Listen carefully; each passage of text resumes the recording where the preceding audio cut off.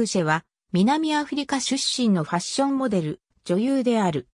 モデルデビューの2010年に雑誌プレイボーイとスポーツイラスト。レーテッドの表紙に採用され、ボリウッド映画アーザーンで俳優としてデビューする。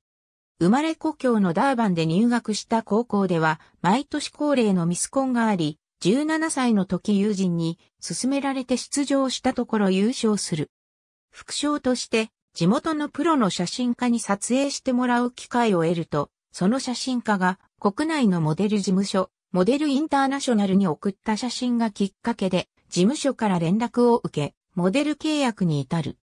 高校卒業と同時に、モデルの仕事に専念するためケープタウンに引っ越すと、ゲスの新人モデルに加わるのは2009年で、翌2010年4月に、プレイボーイアメリカ版表紙と見開きページに登場する。